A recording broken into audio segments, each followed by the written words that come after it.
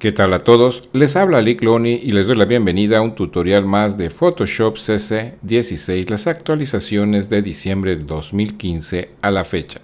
Nos encontramos en nuestro capítulo número 10 de la combinación de múltiples imágenes.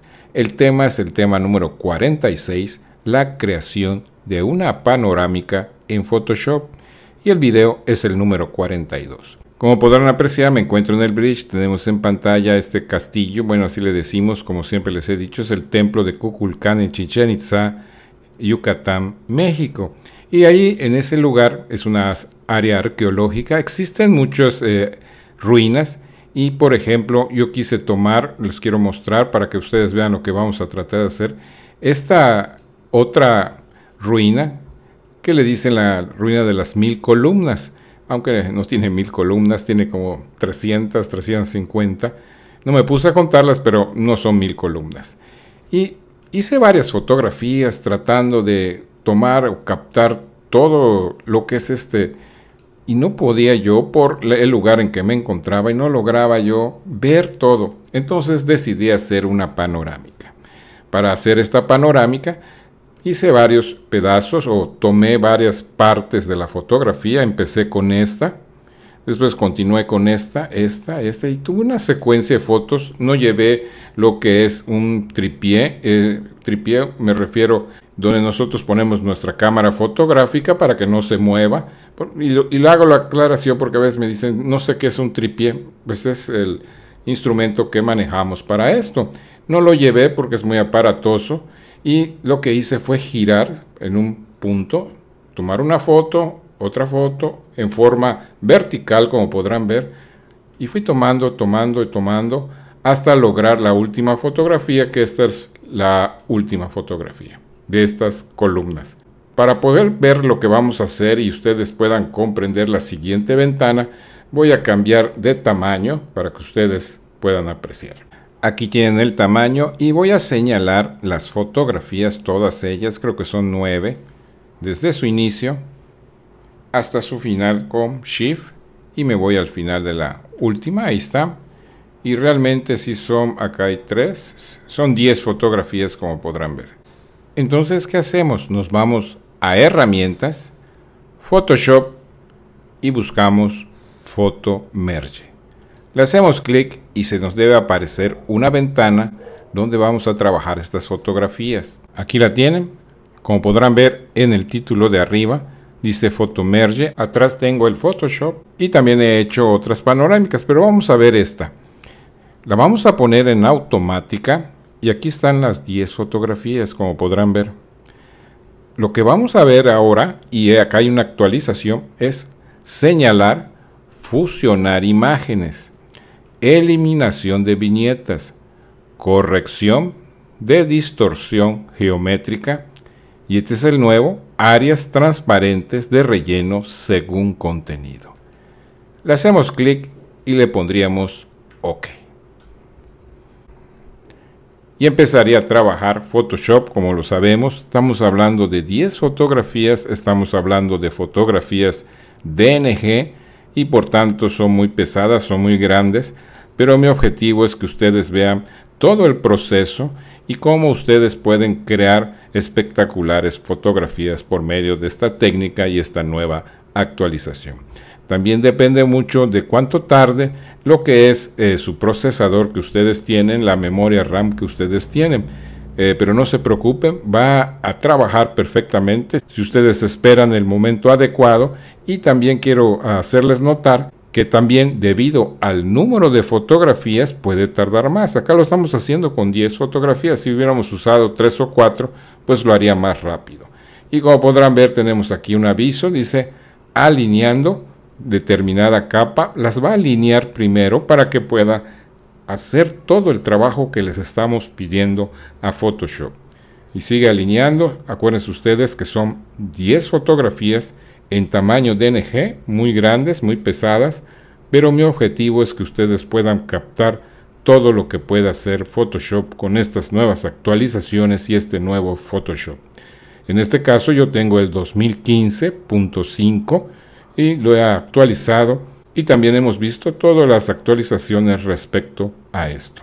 Después que haya hecho esta alineación de las fotografías, lo que va a hacer Photoshop es rellenar, fíjense ustedes, de acuerdo al contenido, lo que vea que falta. Ahí tienen ustedes, está fusionando. Acuérdense que pusimos todos los puntos.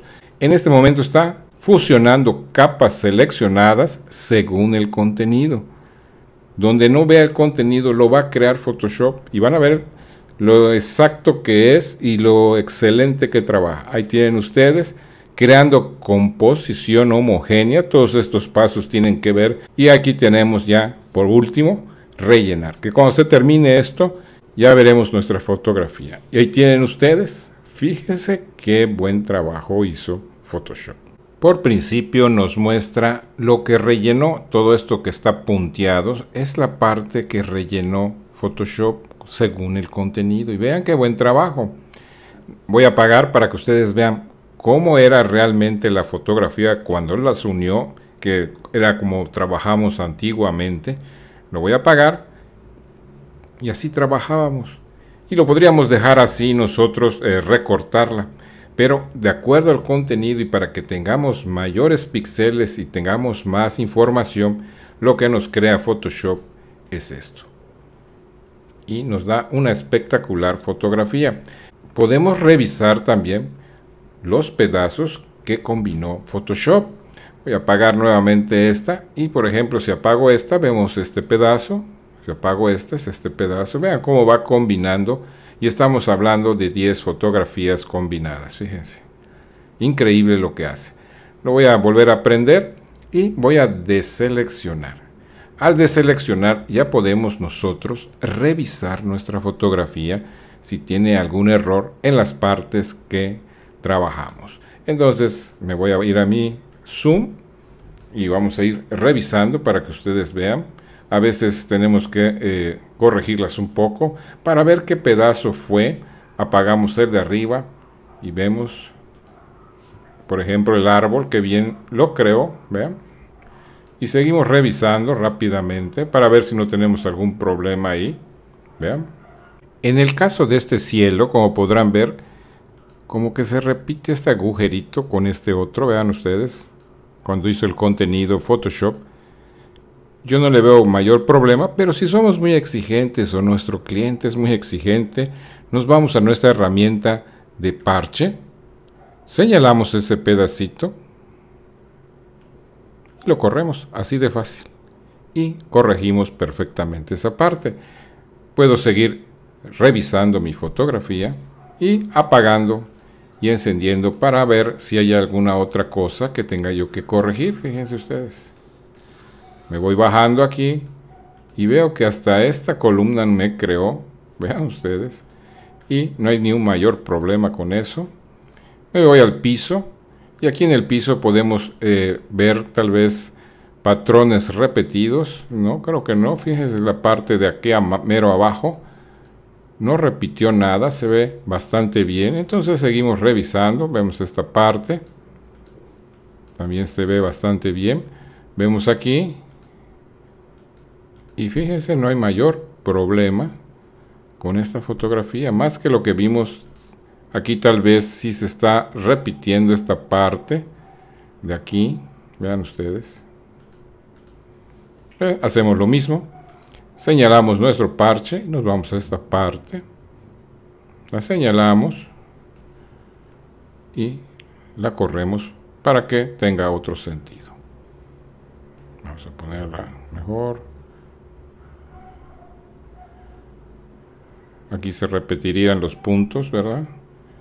Entonces vamos a ponerla así. Muy bien. Ahí tienen ustedes, ya revisamos eso de ahí. Aquí creo que se está repitiendo este punto que está acá, vamos a ver. Sí, definitivamente sí. Entonces esta parte también la señalamos y la corremos para que sea diferente. Fíjense qué fácil y sencillo. Vamos a seguir revisando. Acá hay una persona, fíjense, pero no la toca. Y ya vimos lo del árbol, que nos hizo un buen trabajo. Entonces nos alejamos y ahí tenemos nuestra fotografía perfectamente arreglada. Si aún así queremos ajustarla, ya podemos hacerlo. Por ejemplo, me voy a ir a los ajustes y a lo mejor le pusiera yo la herramienta o ventana de curvas. Ahí está. Entonces la puedo iluminar un poco más, fíjense ustedes. Ponerle un poco de contraste. Ahí tiene. Podría yo ir a lo que es el ajuste de tono y saturación y podría yo saturarla, cambiarle el tono si yo quisiera. Vean, estoy haciendo varios cambios para que ustedes puedan apreciar. O lo podría yo hacer más luminosa o menos luminosa, fíjense. Y vamos a regresarnos a nuestras capas y ya hicimos dos ajustes. Mi fotografía, cuando ya terminada, mi panorámica se encontraba así y la he dejado de esta manera. Y podríamos seguirla editando. Por último, la guardaría yo. Le pondría yo archivo, guardar como, y en el momento que le voy a poner guardar como, fíjense que Photoshop ya me dice panorama sin título.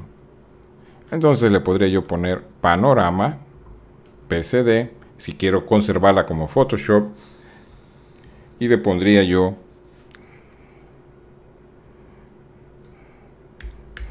mil columnas. Aunque como les dije no son mil columnas. Y la podría guardar como PSD para tenerla nuevamente. Vamos a ponerle guardar. Le ponemos a esto OK. Y también podría yo hacer una copia. Igualmente, si la quiero subir a internet, necesito un archivo muy pequeño. Ponemos otra vez guardar como y le ponemos JPG.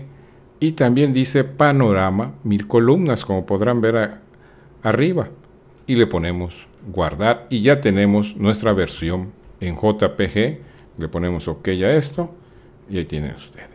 En los últimos segundos de este tutorial aparecerán cursos que les proponemos para que ustedes vean y también el logotipo de Ligloni Pro para que le hagan clic y se suscriban. Espero que les haya gustado este tutorial. Si les gustó, regálenme un me gusta. Si no se han suscrito, suscríbanse. Les espero en nuestro tutorial número 43 de Photoshop CC 16, las actualizaciones de diciembre de 2015 a la fecha. Muchas gracias a todos por su atención y hasta luego.